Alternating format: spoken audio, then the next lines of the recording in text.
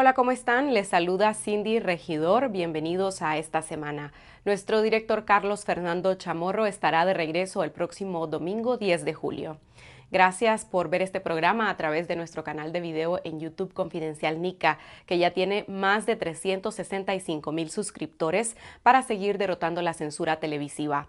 Nosotros continuamos demandando la devolución de las redacciones de Confidencial, 100% Noticias, La Prensa y Trinchera de la Noticia, que han sido ilegalmente ocupadas por la policía. Exigimos la suspensión del Estado policial y la liberación de más de 180 presos políticos y la anulación de los juicios políticos que se han llevado a cabo en las cárceles de la policía contra precandidatos presidenciales de la oposición, líderes políticos y cívicos, defensores de derechos humanos, empresarios y periodistas que fueron secuestrados por el régimen de Daniel Ortega para eliminar la competencia política el pasado 7 de noviembre en una votación en la que Ortega se proclamó ganador sin competencia ante una masiva abstención y sin el reconocimiento de los nicaragüenses y de la mayoría de países del hemisferio. Continuamos exigiendo que se restablezcan las libertades democráticas en el país para despejar el camino hacia una verdadera reforma electoral y elecciones libres como una salida pacífica a la crisis que vive Nicaragua. Este fin de semana la tormenta tropical Bonnie impactó Nicaragua y Costa Rica. El fenómeno tocó tierra la noche del viernes al sur de la desembocadura del río San Juan, cruzó el lago de Nicaragua y salió del territorio nacional hacia el Pacífico por el istmo de Rivas. En Costa Rica las autoridades evacuaron más de 3.500 personas y advirtieron del riesgo de inundaciones y deslizamientos, mientras que en Nicaragua también se realizaron evacuaciones en el Caribe Norte y Sur y en San Carlos de Río San Juan. Este viernes, Berta Valle, esposa del precandidato presidencial y reo político Félix Maradiaga, lanzó un SOS ante la posibilidad de que el prisionero haya iniciado una huelga de hambre en medio de las ya delicadas condiciones de salud en las que se encuentra y demandó el cese del confinamiento y los tratos crueles contra los reos de conciencia. El régimen, a través de sus canales de propaganda, presentó al día siguiente unas fotografías y video de Félix de una audiencia en el complejo judicial de Managua. Hablaremos con Berta Valle sobre estas imágenes y su demanda de constatación del estado de salud de su esposo y de todos los reos políticos. Más adelante en el programa conversaremos con Ana Lucía Álvarez, familiar de las presas políticas Tamara Dávila y Ana Margarita Vigil, y con Carlos Quesada, director de Raza e Igualdad, una de las organizaciones que lideran la campaña Nicas Libres Ya, demandando el cese de la tortura y la libertad de los presos políticos. También conversaremos con Olga Valle de Urnas Abiertas sobre el más reciente informe de su organización sobre el incremento de la violencia política y los incidentes registrados entre enero y mayo de este año, previo a las votaciones municipales previstas para noviembre.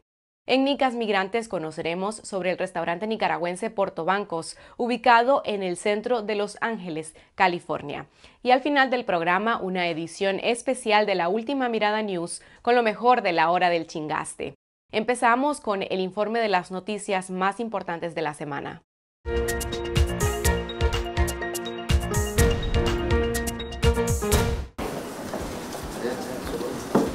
El régimen de Daniel Ortega divulgó por primera vez en un año imágenes del preso político Félix Maradiaga durante una audiencia judicial en la que fue rechazado un recurso de apelación contra su condena, un día después que su esposa Berta Valle hiciera una alerta de emergencia sobre las condiciones de salud y aislamiento de los presos políticos.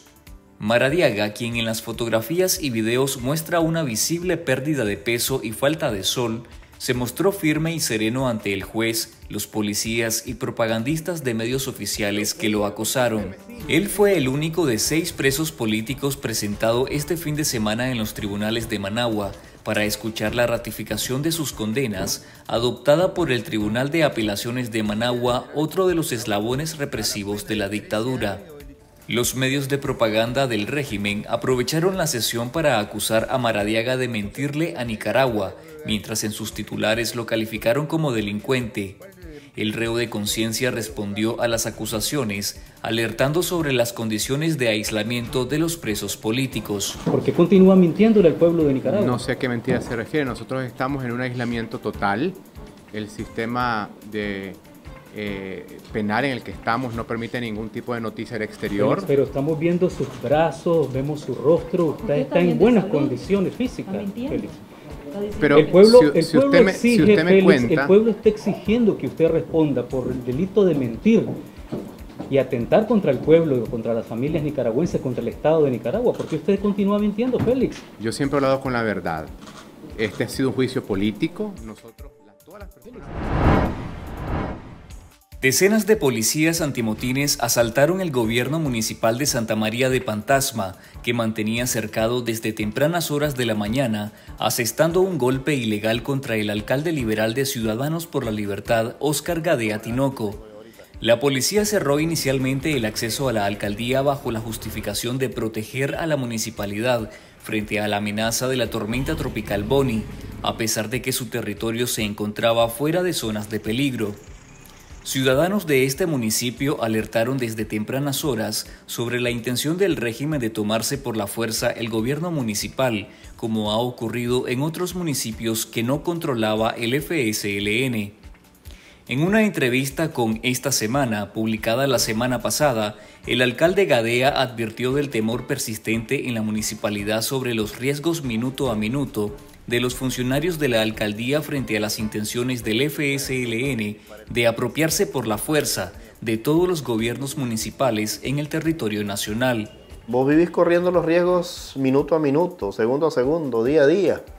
Eh, vos sabes que ellos tienen las armas, por medio de las armas se tomaron la alcaldía de Ubilí. Gadea confirmó a Confidencial que después de tomarse a la fuerza la municipalidad, la dictadura nombró a través del Instituto Nicaragüense de Fomento Municipal INIFOM a Carmen Obando y Melvin Zelaya como alcalde y vicealcalde respectivamente y a Lourdes González como secretaria del Consejo Municipal.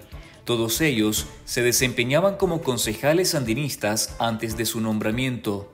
Según Gadea, la justificación del INIFON para destituirlo fue que su partido Ciudadanos por la Libertad no tiene personería jurídica. Los sistemas de atención de desastres de Nicaragua y Costa Rica se activaron ante el paso de la tormenta tropical Bonnie, evacuando de manera preventiva a miles de personas. El fenómeno causó lluvias en el sur del territorio nicaragüense y en el noreste del país vecino, las cuales persistieron después que se enrumbó al Océano Pacífico a las 10 de la mañana de este sábado 2 de julio. Pobladores reportaron desprendimientos de techos de viviendas, árboles caídos en las vías en la zona de la Virgen Peñas Blancas y una interrupción temporal de la energía eléctrica. Bonnie impactó Nicaragua desde el viernes a las 9 de la noche en la zona de la desembocadura del río San Juan con vientos que oscilaron entre 65 y 85 kilómetros por hora. Posteriormente cruzó el lago de Nicaragua y salió del país atravesando el istmo de Rivas, dejando una secuela de lluvias intermitentes que tampoco fueron torrenciales. Según el Centro Nicaragüense de Derechos Humanos, las autoridades trasladaron en secreto al preso político Yubran Suazo desde el Chipote al penal de la Modelo, que pertenece al sistema penitenciario en la ciudad de Tipitapa. El dirigente opositor de Masaya fue mantenido durante más de 40 días en el Chipote, sin que sus familiares lo hayan podido ver y ahora les han dicho que se encuentra en la celda de castigo conocida como el infiernillo en la cárcel a modelo. Esta semana se supo también del traslado a celdas compartidas con reas comunes en la cárcel de la Esperanza de las presas políticas Samantha Girón y Evelyn Pinto. Ambas fueron condenadas a ocho años de prisión, bajo los mismos cargos contra Suazo, de menoscabo contra la soberanía nacional. El Grupo de Trabajo sobre la Detención Arbitraria de Naciones Unidas demandó la liberación de 13 presos políticos, los exprecandidatos presidenciales Arturo Cruz y Miguel Mora, el cronista deportivo Miguel Mendoza, los exdiputados Pedro Joaquín Chamorro Barrios y José Palé, también piden por la libertad de las dirigentes de UNAMOS Dora María Telles, Ana Margarita Vigil, Tamara Dávila, Suyen Barahona y Víctor Hugo Tinoco. Además, abogaron por la liberación de Violeta Granera, líder de la Unidad Nacional Azul y Blanco, el banquero Luis Rivas y el expresidente del sector privado José Adán Aguerri. El grupo de la ONU demandó una investigación sobre la muerte en cautiverio del general en retiro Hugo Torres, ocurrida el 12 de febrero pasado. La policía desató un operativo de asedio contra seis misioneras de la caridad de la Orden Religiosa de María Teresa de Calcuta, que se encuentran en el hogar Inmaculado Corazón de María en Granada. El acoso ocurre tras la cancelación de la personería jurídica de la congregación junto a otras 100 organizaciones ilegalizadas esta semana. En el primer semestre de este año, la dictadura canceló a 796 ONGs, intensificando su guerra contra la sociedad civil organizada. Desde 2018 la dictadura ha cancelado la personería jurídica de 870 asociaciones. Un documento oficial del Banco Mundial aseguró que el Ministerio de Salud ejecutó medidas preventivas antes que la pandemia afectara masivamente a Nicaragua. El planteamiento contrasta con la denuncia reiterada por las asociaciones médicas de que hubo un manejo opaco y negligente que costó decenas de miles de vidas. El organismo multilateral justificó el otorgamiento de un préstamo de 116 millones de dólares que apoyará una respuesta adicional a la COVID-19. El epidemiólogo Leonel Argüello recordó que el coronavirus causó al menos 15.000 muertos y advirtió que los préstamos internacionales no han mejorado la falta de transparencia en el manejo de la pandemia. El Ejecutivo de Nicaragua pagó más de 100 millones de dólares a sus aliados de Rusia y Cuba por la compra de vacunas que costaron hasta 100% más que las autorizadas por la Organización Mundial de la Salud. El presidente de Costa Rica, Rodrigo Chávez, justificó su respaldo al candidato de Daniel Ortega para ocupar la Secretaría General del Sistema de Integración Centroamericana SICA, Werner Vargas Torres. Chávez dijo que aunque en Nicaragua no hay libertades y hay presos políticos, lo cual es indeseable, también debe haber una relación de cordialidad con Nicaragua, porque es una ruta para las exportaciones y el comercio de Costa Rica, que forman parte del bienestar de su país. De esa manera reaccionó a una carta firmada por ocho expresidentes de Costa Rica que le pidieron reconsiderar su posición y no llenar la vacante del SICA con el candidato de la dictadura de Ortega. La Corte Suprema de Justicia de Estados Unidos suprimió una política migratoria instaurada por el presidente Donald Trump que obliga a solicitantes de asilo a esperar una resolución de su caso en México fuera de suelo estadounidense. La decisión judicial fue tomada con cinco votos a favor versus cuatro en contra. La medida de Trump afectó a más de 60.000 solicitantes de asilo. Entre diciembre de 2021 y abril de 2022, más de 3.000 nicaragüenses en esa condición fueron enviados a México.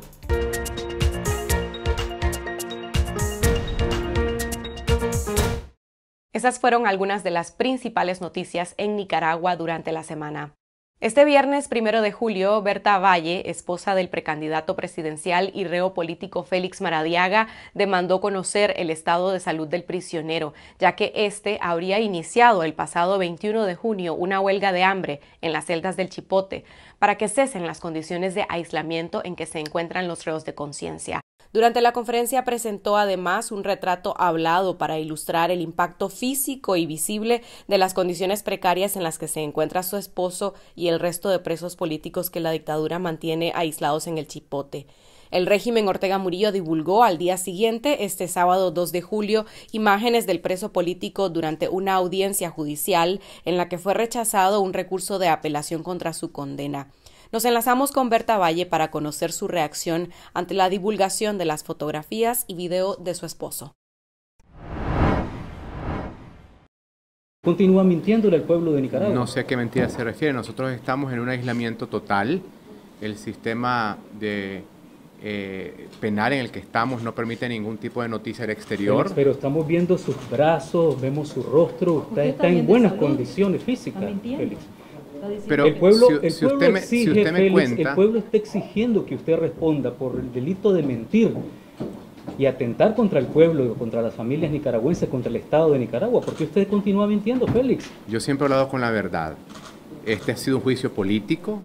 Berta, 24 horas después de tu denuncia, ayer sábado el régimen presentó imágenes de Félix preso en los tribunales. Son las primeras en más de un año desde que fue encarcelado. ¿Cómo valorás su condición y el estado de salud según esas fotos y videos?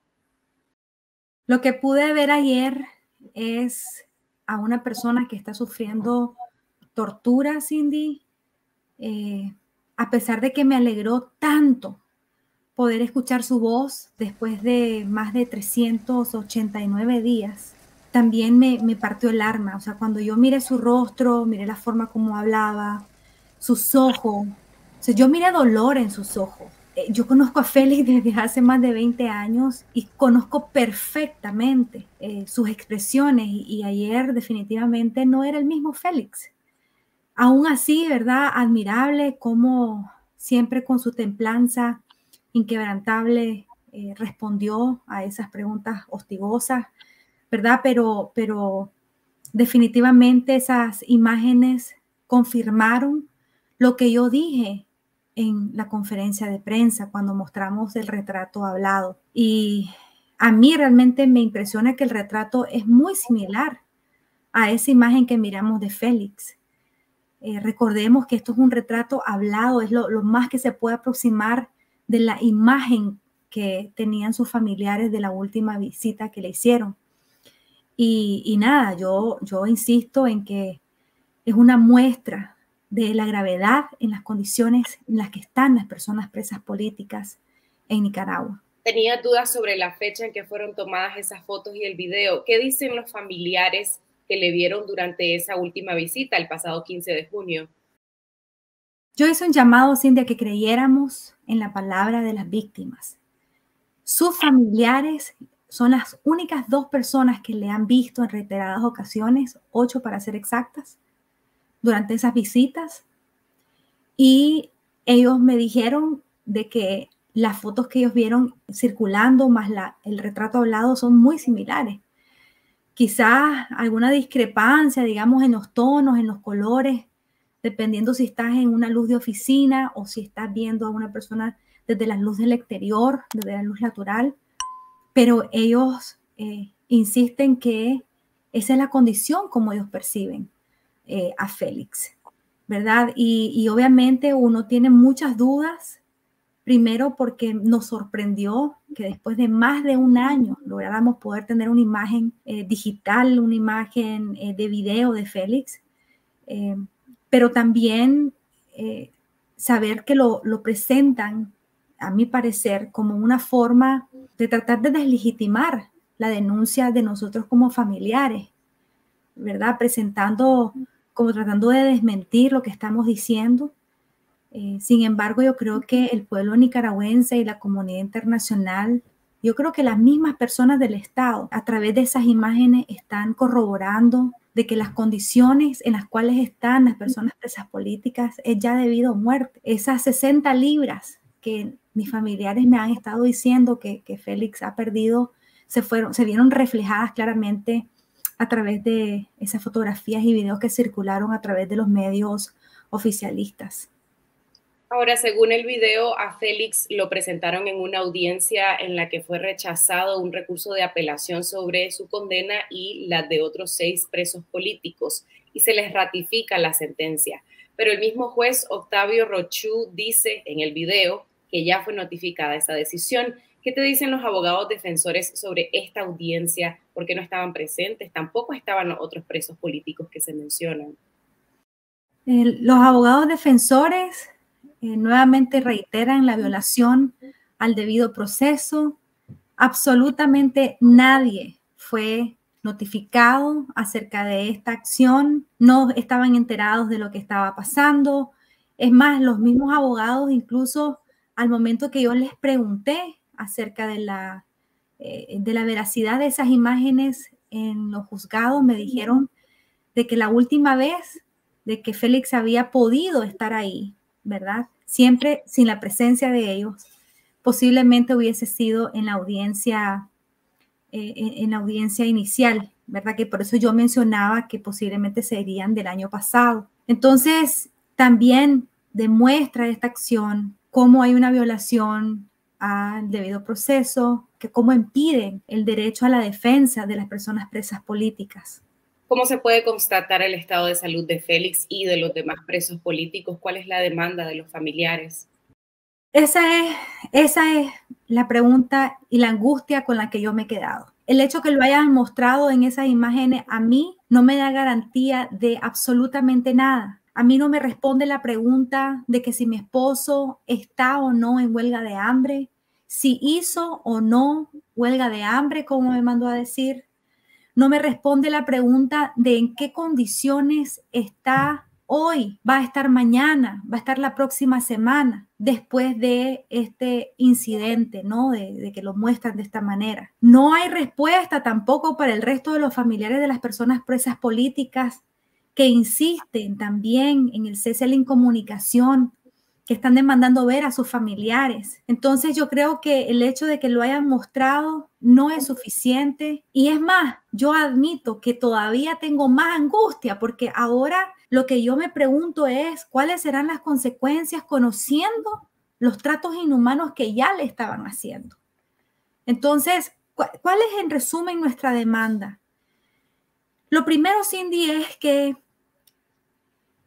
yo considero que es momento de terminar ya con esta tortura, terminar con tanta violencia, terminar con la incomunicación al mundo en la cual los tienen, incluso dicho por el mismo Félix, ¿verdad? Cuando lo cuestionaron. Cese la incomunicación, cese al, confinamiento solitario en el cual están algunas personas presas políticas, particularmente el confinamiento solitario en el cual han, estado las mujeres por más de un año, que los menores de edad puedan visitar a sus padres y a sus madres, ya que muchos de ellos tienen más de un año de no verles. El hecho que los familiares que estamos fuera del país podamos tener un contacto directo con ellos, ya sea una llamada telefónica, una carta, un dibujo, Estamos pidiendo que les permitan una Biblia.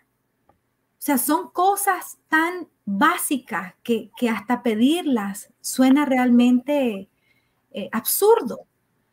Esas son nuestras demandas en este momento, mientras ocurre la liberación incondicional de nuestros familiares, porque son inocentes y eso no nos vamos a cansar de repetirlo. Mientras ocurre la liberación, que puedan ver a un médico especialista privado, que puedan contactar, constatar las condiciones físicas en las cuales se encuentran. Hay personas que tienen condiciones preexistentes que no han sido atendidas. Esas son las demandas. Estamos pidiendo prácticamente un poco de humanidad, que tengan misericordia al tratar a estos seres humanos que, insisto, son inocentes. También has demandado y otros familiares de presos políticos la Cruz Roja Internacional, algún otro organismo de derechos humanos entre al Chipote, a las demás eh, cárceles del país para valorar in situ la condición de los presos. ¿Cuándo fue la última vez que esto ocurrió?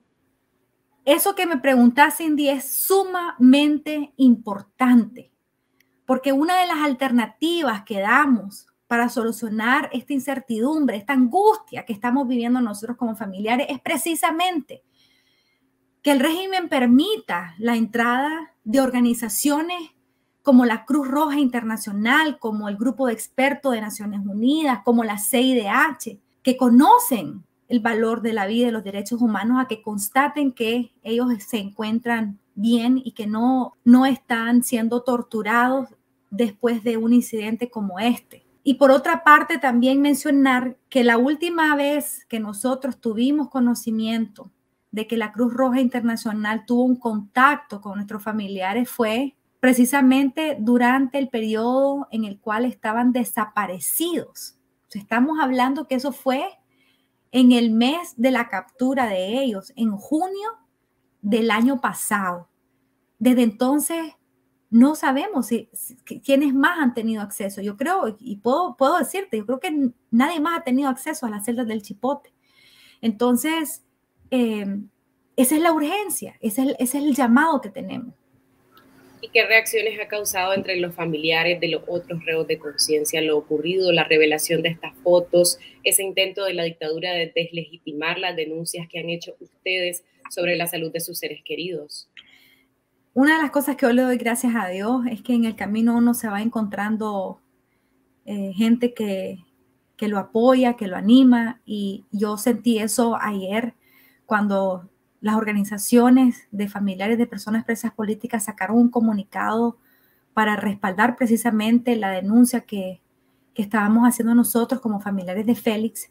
Y al mismo tiempo, si pueden leer ese comunicado, las familias también eh, comentan que están viviendo la misma situación. O sea, la reacción de los familiares al ver esa fotografía es, así está mi familiar. Y, todos comenzamos a compartir información, vieron, así está. a veces hay gente que decía, el mío está más delgado o el mío está más pálido, ¿verdad? Entonces, eh, vos podés ver la reacción de los familiares y te das cuenta entonces que esto es una situación generalizada por la que están pasando todas las personas presas políticas.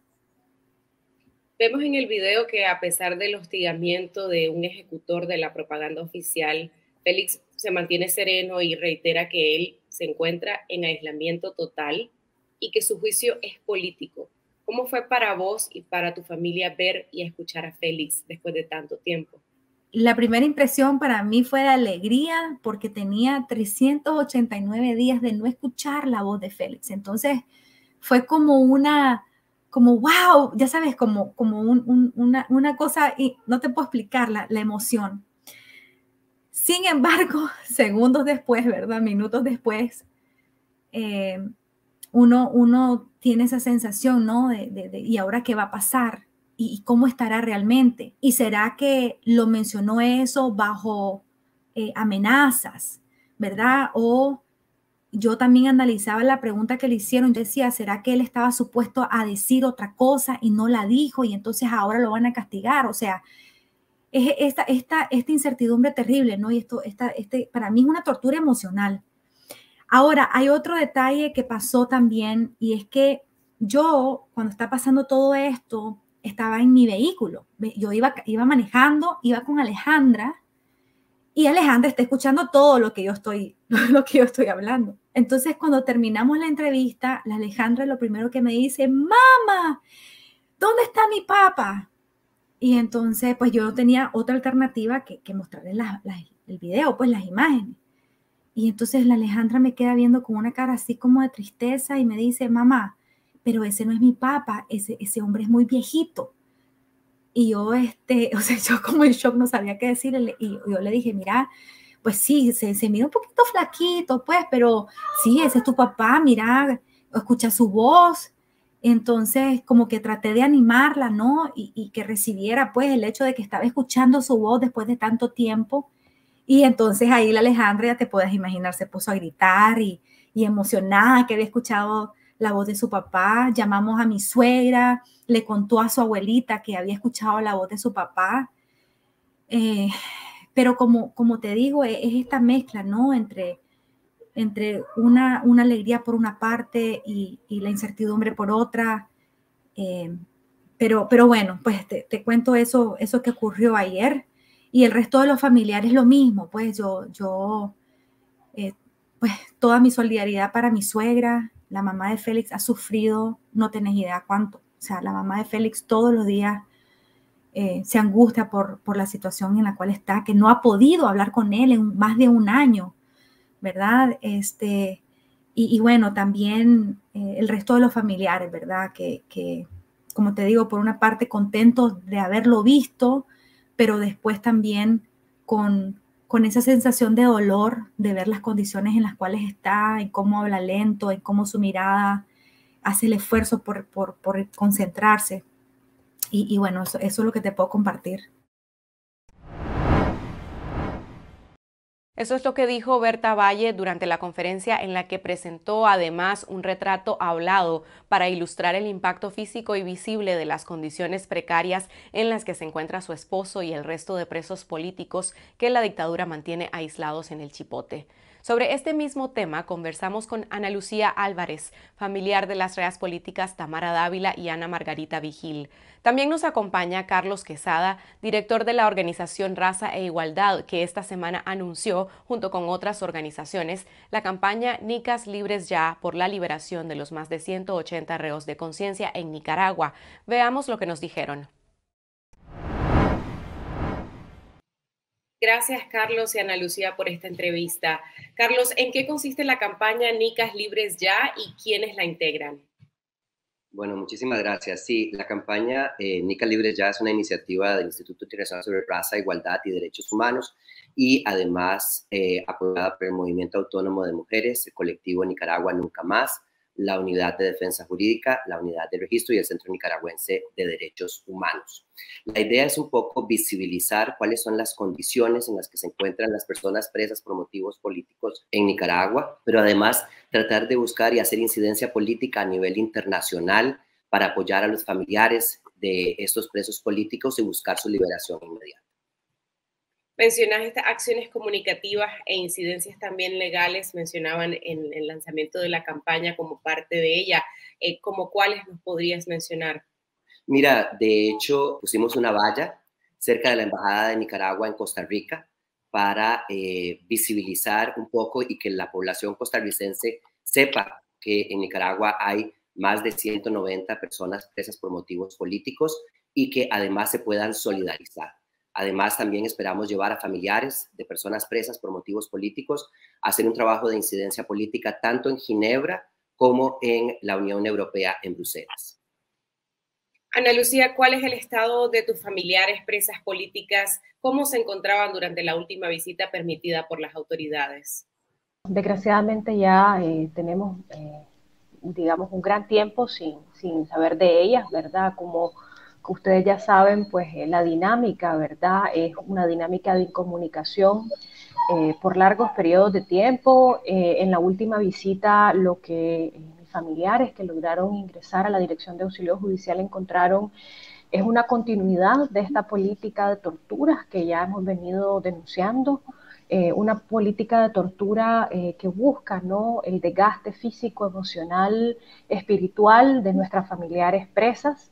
En el caso, digamos, de mis tías y mi hermana, eh, bueno, el tema, bueno, la Tamara, ¿verdad? Mi hermana que se encuentra en una situación de aislamiento extremo, ¿verdad? Ella lleva ya más de un año en, en una celda, digamos, de aislamiento absoluto, empernada, clausurada, ella no ha tenido garantizado su derecho a patio sol ni, ni, siquiera una vez durante este año. El régimen sigue impidiendo la comunicación entre eh, madre e hija, ¿verdad? En el caso de mi hermana no ha podido ni siquiera tener, y, del resto, ¿no? De personas em, que tienen niños y niñas menores de edad y que están... Em, eh, detenidas en la Dirección de Auxilio Judicial no han tenido ni siquiera acceso a una llamada telefónica, ni siquiera nos permiten que ingresen el dibujo eh, y absolutamente nada, ¿no? Entonces, eh, como te decía, desgraciadamente las condiciones de tortura se mantienen.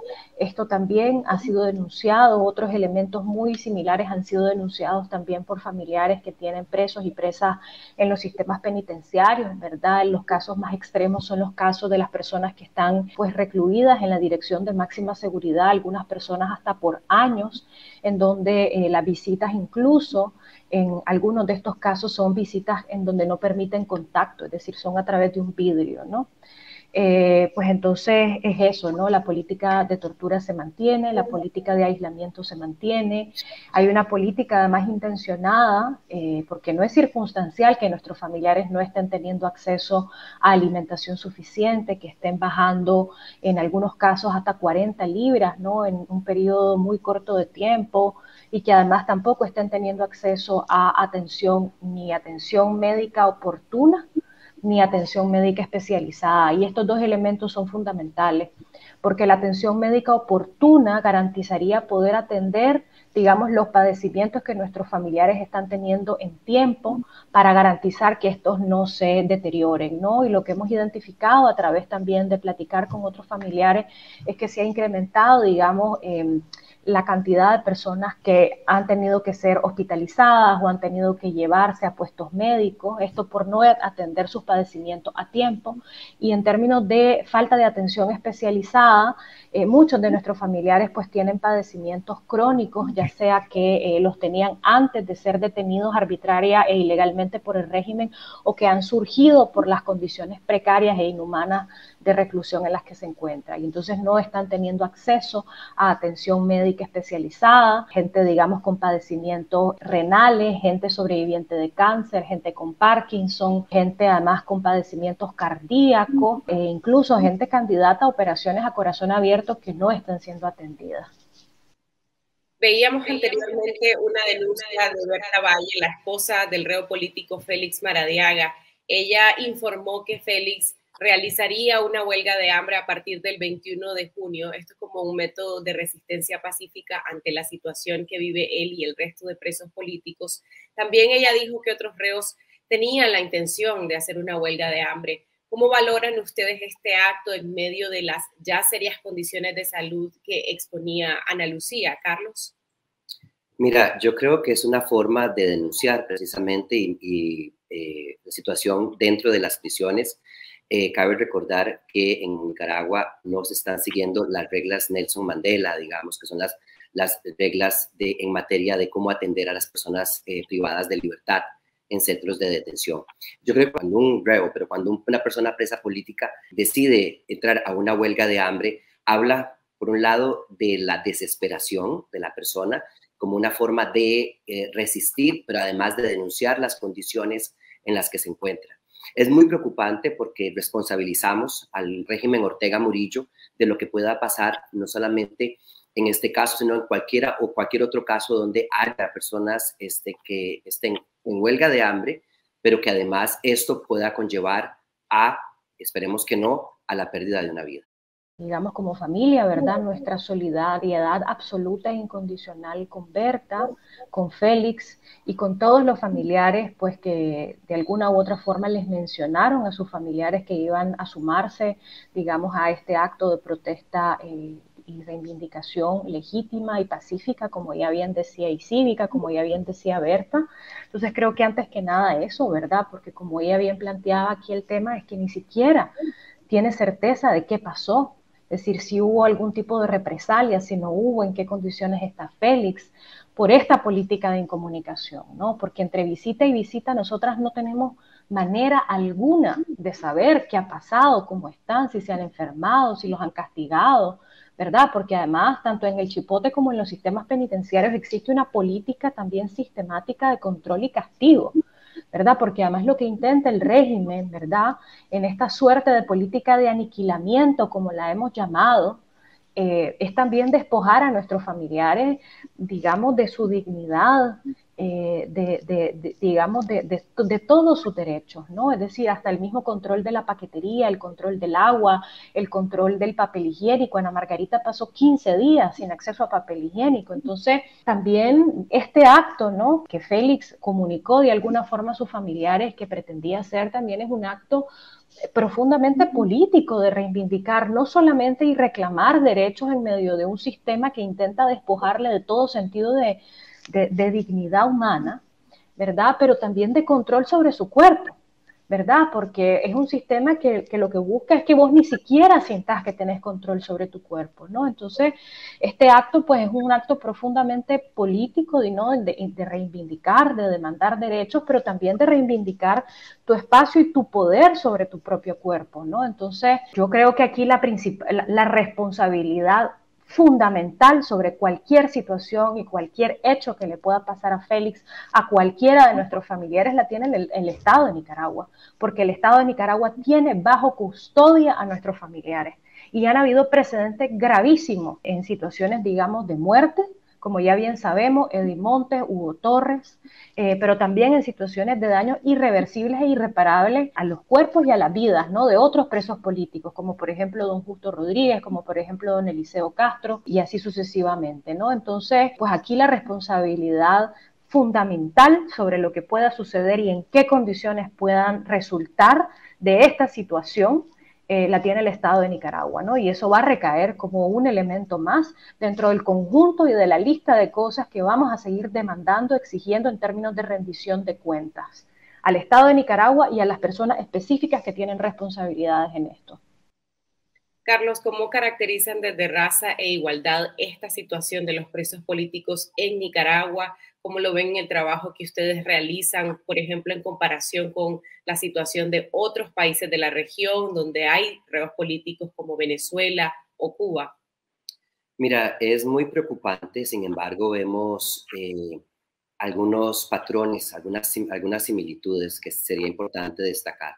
Una de ellas, la criminalización de las personas presas políticas, es decir, utilizar la legislación, en este caso en los códigos penales o crear leyes y legislaciones para poder tener el argumento legal y criminalizar, digamos, a personas por ejercer el derecho a la libertad de expresión, que en el fondo es esto. Todo lo que ha ocurrido, ha ocurrido en Nicaragua, lo que ha ocurrido en Cuba y lo que ocurrió en Venezuela, tiene que ver con una flagrante violación al derecho de libertad de expresión, al derecho de disentir. O sea, en el caso de Nicaragua en concreto, se está criminalizando a personas simple y sencillamente por pensar distinto al régimen Ortega Murillo en este en este caso. Pero también es importante destacar aquí una cosa con respecto a tu pregunta, y es que las dictaduras eh, no trabajan solas. Las dictaduras se pasan información de inteligencia, colaboran en métodos de tortura, o sea, las mismas características que está utilizando el régimen Ortega Murillo ya las hemos visto en otros países de América Latina como Cuba y Venezuela. Un aspecto muy importante quizás de señalar también es el, impacto psicosocial que tiene esto, o sea, que tiene todo, todo, el, todo este castigo, porque en realidad los presos políticos, en el caso de Nicaragua, que nosotros hemos documentado 190, el efecto psicosocial no es solamente para la persona, que está en prisión. Y el daño a la vida no solamente es para las personas que están en prisión, es para las personas, para los familiares.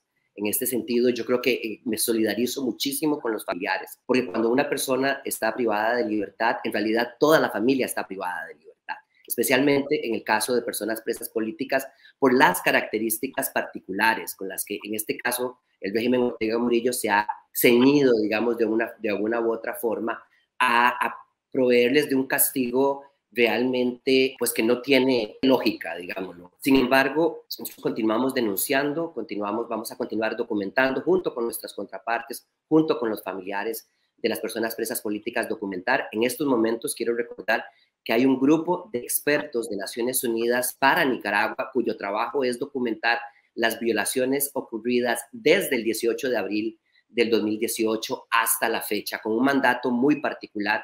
Y ahí, por supuesto, que va y entra el caso de las 190 personas presas políticas en Nicaragua.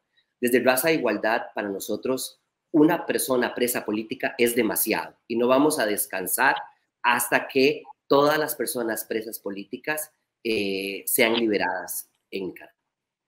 Ana, ¿cuál es la demanda de ustedes hacia las autoridades que mantienen a los presos políticos bajo esta situación de tratos crueles y degradantes? Bueno, la, primera demanda, digamos, y nuestra demanda fundamental es la libertad inmediata, incondicional y con garantía, ¿verdad?, de todas las personas presas políticas. Y esos tres elementos son fundamentales. La inmediatez, es decir, como, como decían, no solamente un preso más, sino un día más es demasiado, ¿verdad? Porque es decir, un día más es un día más bajo esta política de torturas. Entonces, por eso para nosotras el tema de inmediata es fundamental, incondicional y con garantía incondicional porque son personas inocentes que han sido criminalizadas por el ejercicio de derechos y por ende su libertad no tiene que tener ningún tipo de condiciones y con garantías, ¿verdad? Porque ya hemos visto lo que ha pasado con excarcelaciones en la historia reciente de Nicaragua. Actualmente hay más de 40 personas presas políticas excarceladas, recapturadas, un número importante de esas personas presas políticas es su tercer recaptura, ¿verdad? Entonces, este, y el cese inmediato también de las detenciones arbitrarias, ¿no? Porque las detenciones arbitrarias y la criminalización y la judicialización en Nicaragua sigue siendo y ha sido usada desde hace cuatro años como una política activa de represión. ¿Verdad? Y mientras eso no cese, en Nicaragua vamos a seguir teniendo presos y presas políticas. Hoy son estas 190 personas, hoy son mis familiares, pero mañana podemos ser cualquiera de nosotras, ¿no? Si esta política continúa. Nicaragua entre el fraude y el terror es el informe que preparó Urnas Abiertas ante las elecciones municipales del 6 de noviembre en Nicaragua. Mi colega Alejandra Padilla conversó con Olga Valle, directora de Urnas Abiertas, sobre el incremento de la violencia política antes de estas votaciones en las que nuevamente han sido anuladas las garantías y la competencia política. Veamos lo que dijo. Gracias, Olga, por esta entrevista. El último informe de urnas abiertas sobre la situación de los derechos humanos en Nicaragua previo a las elecciones municipales de noviembre describe un incremento de la violencia política. ¿Qué está pasando? ¿Hay alguna causa específica? Sí, eh, en este informe que hemos entregado que se llama eh, Nicaragua entre el fraude y el terror, lo que hemos observado en estos primeros cinco meses de este año es eh, cómo se mantiene, ¿verdad? El asedio, el hostigamiento, la persecución judicial y los malos tratos sobre las personas presas políticas, pero también cómo empiezan a evidenciarse otro tipo de violencia, sobre todo las que están emanando diferentes instituciones del Estado. Es decir, estamos viendo una leve disminución de la participación de sujetos y grupos armados como policías, militares, paramilitares, eh, para que empiecen a, a ejercer violencia política eh, funcionarios públicos desde las mismas instituciones gubernamentales. ¿Y a qué se debe este incremento de la violencia? ¿Se podría decir que está vinculado al hecho de que en noviembre van a ser las elecciones municipales o hay alguna otra razón? Desde nuestra perspectiva, eh, esta escalada totalitaria, por una parte, es posible eh, gracias a la perpetuación del régimen a través del fraude electoral que cometieron en noviembre de 2021. Es decir, el fraude no es indiferente o no es únicamente eh, un trámite más para el gobierno, sino que a través de este fraude permiten garantizarse al menos unos cinco años más en el poder y a partir de esto que ellos inician una escalada totalitaria en la que no están dejando ningún tipo de dimensión para que la ciudadanía pueda ejercer sus derechos o, que, para que la ciudadanía eh, pueda gozar de las libertades fundamentales. ¿no? Entonces lo que vemos y lo que estamos intentando evidenciar en este informe es eh, la manera en que las dimensiones religiosas, culturales, temas migratorios, temas de derechos económicos, sociales y laborales también están siendo afectados por la violencia política que emanan de todas las instituciones del Estado. ¿Cuántos incidentes han registrado entre enero y mayo de este año en el territorio nacional? ¿En qué zonas o territorios se reportan mayor número de denuncias recibidas? De momento el informe no ha incluido eh, los números, las cifras, porque esto vamos a hacer el primer corte del primer semestre a mediados de este mes de julio. El informe más que nada describe 11 nuevas formas de violencia política que están vinculadas a represión migratoria, a represión al sector cultural, al sector religioso, algún tipo de represalias con programas sociales, represalias también a pequeñas, medianas y grandes empresas, extorsión fiscal, extorsión con algún unas propiedades de las personas. ¿Quiénes son principalmente las víctimas de la violencia y quiénes son los principales perpetradores también? Sí, lo que estamos denunciando también a través de este informe es eh, cómo empieza a ampliarse, ¿verdad? Como los perfiles de las víctimas ya no solamente son las personas opositoras organizadas de alguna manera, como fue lo que vimos el año pasado, ¿verdad? Que se empezaron a llevar a las personas eh, que habían indicado querer ser parte del proceso electoral o a las personas que ejercían algún tipo de liderazgo, sino este año es todavía más generalizado. Hay una represión contra personas que se sabe en sus localidades que son eh, opositoras, pero también hay una represión contra todo tipo de perfiles de la ciudadanía en general, sobre todo personas que eh, no hablan abiertamente a veces del tema político o no apoyan abiertamente al gobierno. También vemos cómo se ha profundizado la persecución y la represión contra los mismos simpatizantes sandinistas o eh, contra trabajadores del Estado, ya sea porque no obedecen las órdenes que emanan del Ejecutivo o porque em, han eh, expresado abiertamente su, apoyo al gobierno. ¿Registraron nuevas formas de violencia política en los últimos cinco meses o es el modelo de represión eh, del régimen? Es decir, ¿han identificado un cambio en el modelo represivo de la dictadura? Sí, eh, un poco lo que indicamos en el informe, ¿verdad? Que se mantienen eh, patrones que ya habían sido identificados de violencia política eh, desde los últimos años, como es la persecución, como el hostigamiento fuera de las casas, como son las represalias, también todos los procesos de persecución judicial a través de condenas, de violaciones al debido proceso y de malos tratos y tratos crueles. Es decir, esto sigue siendo, estas siguen siendo las principales manifestaciones de violencia política y lo podemos observar observar en las denuncias que hacen los familiares de las personas presas, ¿no? Por ejemplo, eh, cuando, ahora que se hizo público la huelga de hambre en la que se encuentra el ex precandidato presidencial Félix Maradiaga exigiendo cese a la tortura y mejores condiciones de comunicación con su familia. En ese sentido, lo que estamos describiendo en este informe es que se está eh, expandiendo la forma de ejercer violencia política por sobre la ciudadanía y ya no solamente son sujetos armados que te persiguen o te detienen, sino eh, están negando tu pasaporte, están eh, negando la posibilidad que entres o salgas del país de manera arbitraria sin que exista una orden judicial, te están expulsando de programas sociales, te están negando permisos, concesiones, matrículas y otra serie de medidas administrativas que definitivamente tienen eh, el objetivo de generar, de, provocar represalias, de generar miedo, de generar terror y, de, y de hacernos saber a la ciudadanía que están controlando absolutamente eh, todas las dimensiones de nuestras vidas. En el informe, Olga, también mencionan aquellas instituciones o aquellos organismos gubernamentales que están también perpetrando estas violaciones de derechos humanos. Me gustaría que profundizaras un poco más acerca de ello. ¿Quiénes son esas instituciones estatales que están eh, efectivamente violentando los derechos de la ciudadanía nicaragüense? Sí, también hemos hecho, ¿verdad?, una caracterización de todo esto que, que son operadores.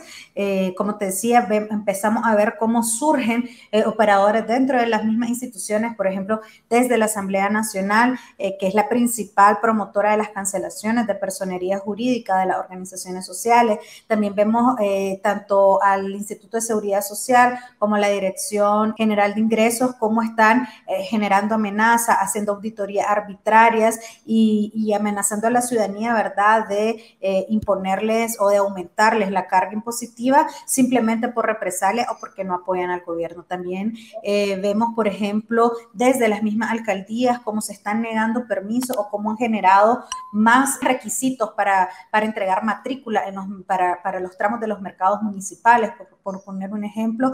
Y eso, ¿verdad?, eh, lo que está provocando es que ya no solamente se trate de que no puedes salir a la calle con tu bandera, o a protestar, sino de que incluso para poner tu negocio o para poder acceder a la salud necesitas el aval político, necesitas que te identifique como una persona no opositora o una persona eh, que apoya abiertamente al gobierno. El alcalde liberal de Fantasma, Oscar Gadea, considera que esta es la peor situación que enfrentan los municipios y que no hay condiciones para una elección. ¿Cuál es la valoración de urnas abiertas? Sí, definitivamente, eh, como hemos venido denunciando, eh, no existen condiciones. Posiblemente estamos frente a un proceso igual de ilegítimo, eh, igual de fraudulento como el que vimos el año pasado. Si no fuese así, el gobierno debería demostrar la voluntad de transformar las condiciones democráticas y estas condiciones pasan principalmente por la liberación de las personas presas políticas, por el cese a la represión, al Estado policial, pero también por una transformación profunda, a la normativa como a la administración electoral para que puedan garantizar un proceso verdaderamente creíble. En ese sentido, eh, coincido con, esta valoración eh, y lo que estamos viendo es que posiblemente esta escalada totalitaria se iba a manifestar en un intento por tomarse ahora sí las 153 alcaldías eh, que existen en el país. ya las alcaldías han venido siendo duramente castigadas principalmente las opositoras, pero en los últimos años también ha habido una fuerte disminución para todas las alcaldías en, las transferencias municipales y, obviamente eso también... Eh, agrava ¿no? la posibilidad de que estas municipalidades respondan a las necesidades de la ciudadanía en cada localidad. Anteriormente, Olga, mencionabas que el estado de terror que ustedes señalan en el informe también ha llegado hasta los militantes sandinistas y funcionarios públicos esto de alguna manera ha causado o puede llegar a causar fracturas dentro del Frente Sandinista.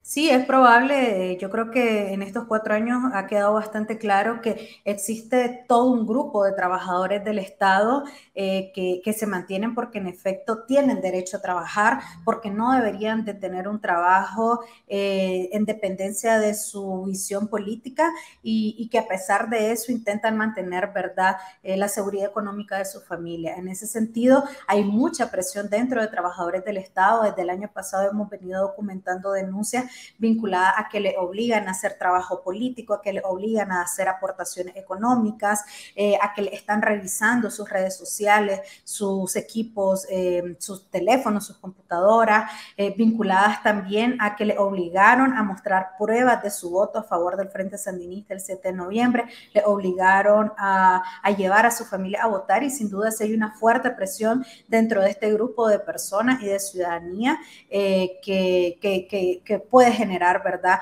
mayor presión, mayor fragmentación dentro del partido y dentro del mismo gobierno. California es el segundo estado de Estados Unidos con mayor población nicaragüense. Más de 100.000 personas han emigrado desde mediados del siglo pasado y su presencia es notoria con una variada oferta gastronómica de Nicaragua.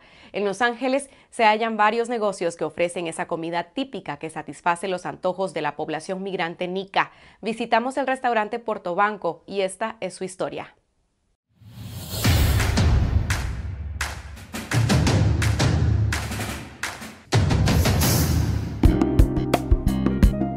A pocos minutos del centro de Los Ángeles, sobre el Boulevard Venice, se encuentra el restaurante de comida nicaragüense Portobanco, cuyo dueño es Eberto Portobanco, el hijo del famoso manager de béisbol granadino y miembro del Salón de la Fama del Deporte Nacional del mismo nombre, emigró a esa ciudad junto con sus hermanos en la década de los 70.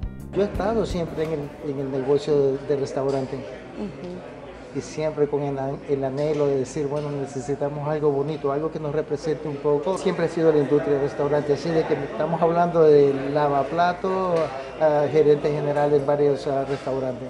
Qué bien, y entonces era un sueño tuyo tener tu propio restaurante. Sí, más que nada tener algo para nosotros, algo de la comunidad. Eberto convenció a su hermano de que se asociaran y el negocio abrió sus puertas en abril de 2018.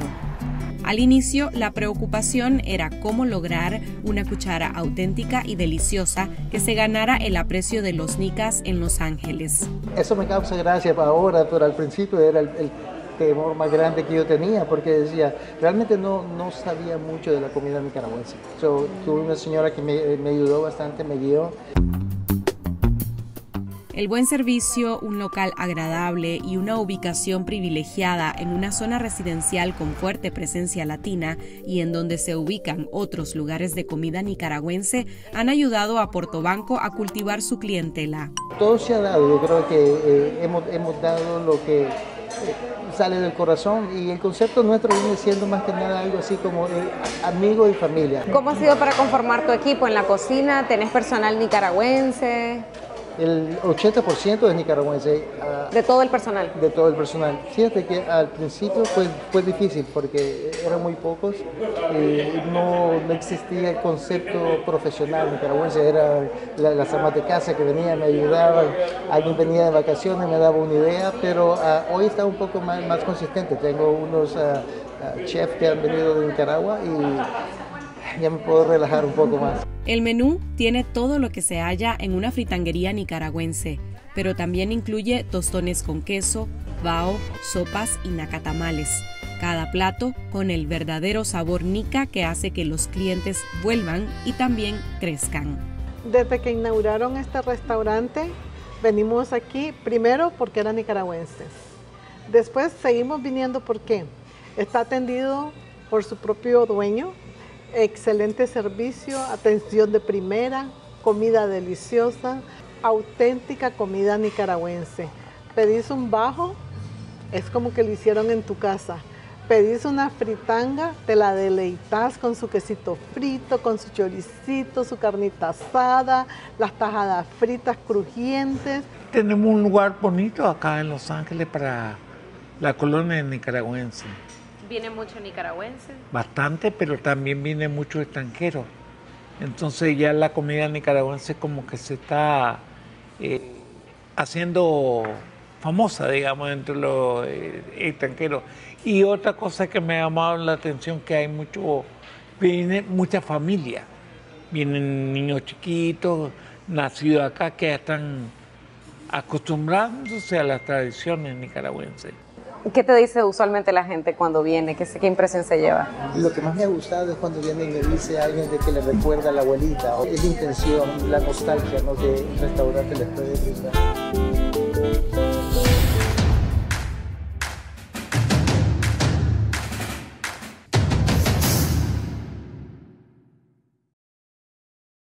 Y ahora vamos a las noticias satíricas en la última mirada news. Les dejamos con una edición especial con lo mejor de la hora del chingaste en el primer semestre de 2022.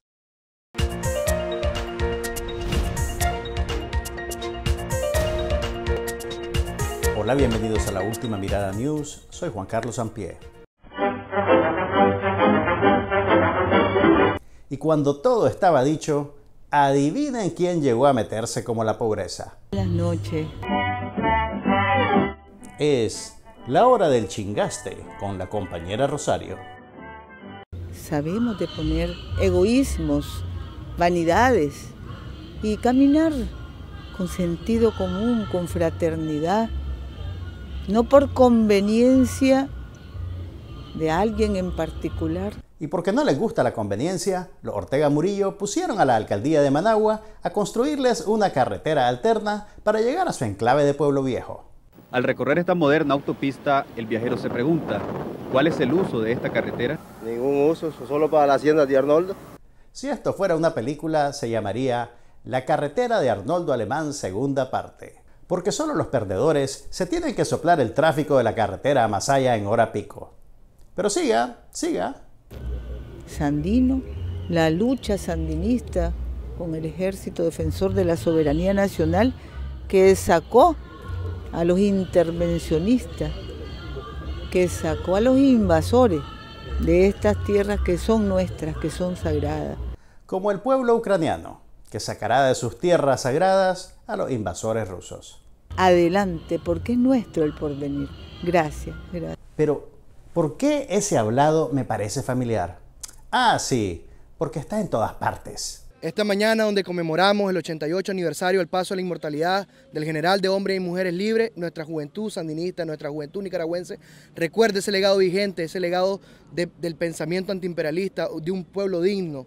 La imitación es la manera más eficiente de adular. Nosotros continuamos ese sendero que nos dejó Sandino, el legado histórico de Sandino, la lucha continúa. La lucha que emprendió Sandino está vigente. Habla tan parecido a Daniel Ortega que hasta le pusieron su nombre. Todos hablan como Daniel Rosario. ¿Estarán siguiendo instrucciones? ¿Habrán recibido un memorándum? ¿O esto sucederá naturalmente por osmosis? Sea como sea, Nicaragua está bajo el ataque de los ortegómatas y los chayobots. Hay que salir de esta dictadura antes que todo el país termine hablando así.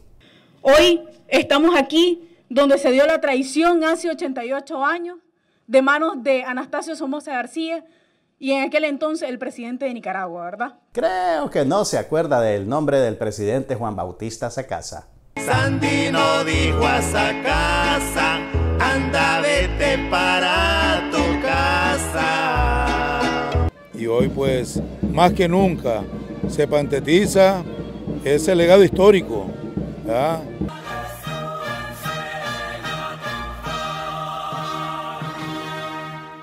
La vicedictadora sonríe porque ya viene. Buenas noches, querida familia. La hora del chingaste con la compañera Rosario. Cada vez que escucho, que canto, que cantamos las letras y la música de nuestro himno nacional, me pregunto cuántos países en el mundo alabarán a la paz. Miren esos mechones morados. Creo que fue al mismo estilista de Avilés, pero le pidió que la tiñera con violeta de genciana. La paz es síntesis de eso valores que representan la nacionalidad. Ah, la nacionalidad. Ese valor que desconocen en unos, pero lo regalan a otros. Gracias, compañero. La delegación de alto nivel iraní, encabezada por el ministro de Petróleo de la República Islámica de Irán, arribó a Nicaragua la noche de este miércoles. Aquí estamos recibiendo con calor nicaragüense, con cariño nicaragüense, con nuestro espíritu revolucionario, al ministro de Petróleo de la República Islámica de Irán, compañero Javad Ouzi. No te alegres mucho, Laureano. Esas mochilas vienen vacías. La visita de dos días culminó con un acto público en el que Ortega envió un SOS a sus aliados iraníes, que nunca le han dado ni sal para un jocote.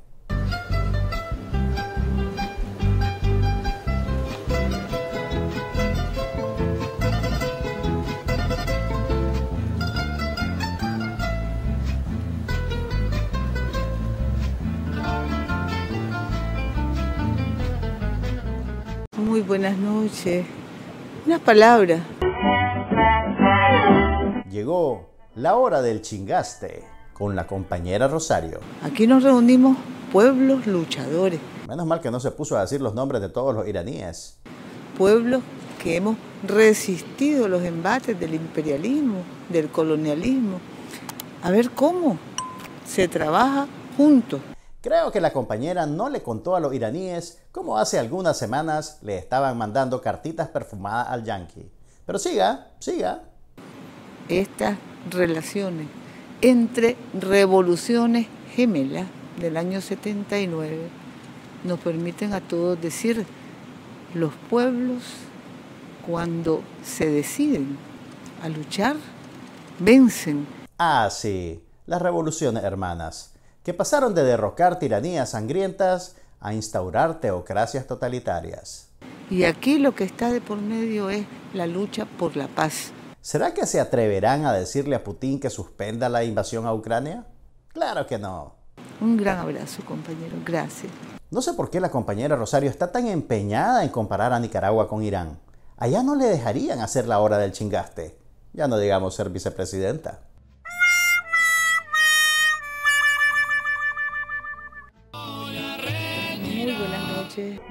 La hora del chingaste con la compañera Rosario.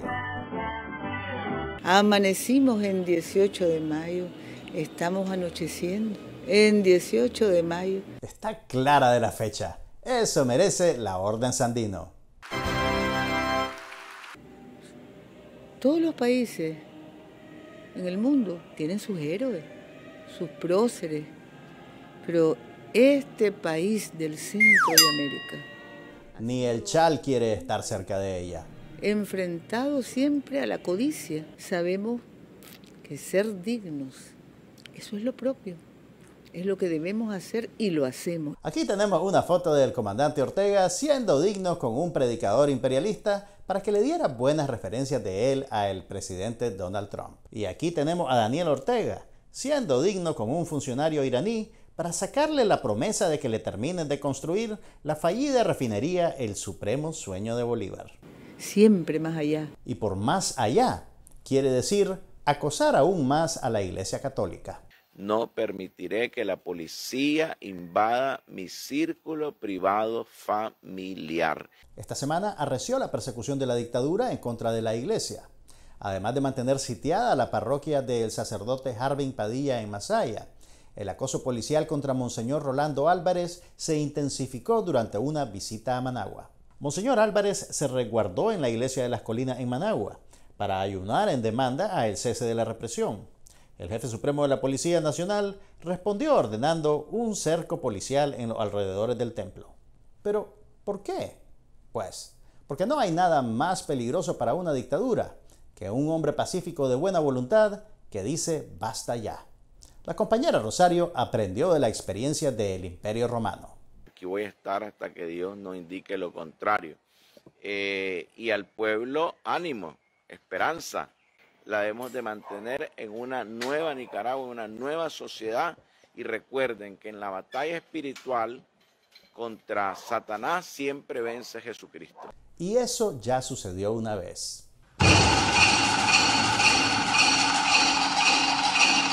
Hermosos estos días, qué intensos estos días. Llegó la hora del chingaste con la compañera Rosario. En un país, en una patria como la nuestra y con un pueblo como el nuestro, es imposible olvidar de dónde venimos, qué somos. ¿Criminales de lesa humanidad? Por tantos conflictos generados, creados por los imperios, que son el mal, que son satánicos, que son perversos, que son diabólicos. Ella cree que está hablando de los Estados Unidos, pero en realidad se está proyectando. Gracias compañeros, compañeras, un abrazo a todos. No nos vamos a callar. Exigimos la liberación del padre Manuel Salvador García, Marta Candelaria Rivas y los más de 180 presos políticos secuestrados en las cárceles del régimen, así como la anulación de los juicios espurios en su contra. Un grito fuerte desde abril. Buenas noches. Todos gritan presente. Así llegamos al final de esta semana. Nuevamente gracias a toda nuestra audiencia por su solidaridad. Gracias a todos los medios radiales, televisivos y digitales que se enlazan con nuestra señal. Y si aún no lo hacen, les invito a que se suscriban a nuestro canal de video en YouTube Confidencial Nica. Necesitamos más apoyo de nuestras audiencias para derrotar la censura en Nicaragua, en Costa Rica, Estados Unidos, Canadá, en España, en Europa y América Latina. Ya somos 365 mil en YouTube. Les agradecemos por el apoyo y por la confianza y a quienes no están suscritos les pedimos que se sumen a este esfuerzo para conectarse con la verdad. Síganos en Twitter a lo largo de la semana y si desea recibir información de lo que ocurre en Nicaragua, les invito a suscribirse a nuestro canal de noticias en Telegram. Lo único que tienen que hacer es buscarnos como Confidencial Nicaragua, ir a nuestro canal con la insignia de verificado y darle suscribir para recibir nuestras alertas noticiosas. Les esperamos el miércoles en una nueva edición del programa esta noche. Buenas noches.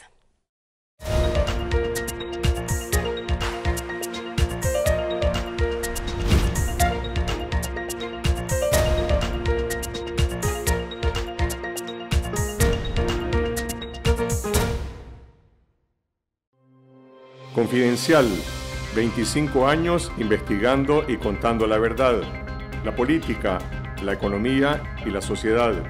La aspiración de un país con democracia, prosperidad y justicia. La corrupción, la pobreza y la violencia. Los temas que afectan e interesan a todos los nicaragüenses. Revelamos la verdad que otros ocultan. Fiscalizamos el poder. Promovemos el debate público. Hacemos periodismo independiente. Por una ciudadanía crítica y mejor informada. Contá con nosotros, estamos cada vez más cerca de vos. Nunca podrán confiscar la verdad. Confidencial, conectados con la verdad.